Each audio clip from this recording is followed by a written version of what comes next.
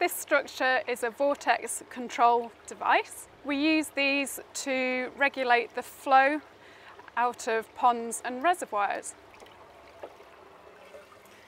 We'll now insert it. So these devices keep the flow rate constant even if the upstream water level increases.